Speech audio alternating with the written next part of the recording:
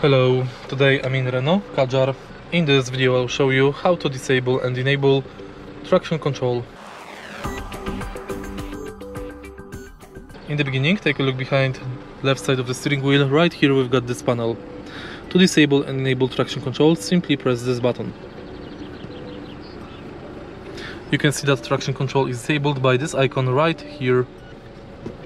Press it again to enable it back. If you find this video helpful, please leave like, comment and subscribe.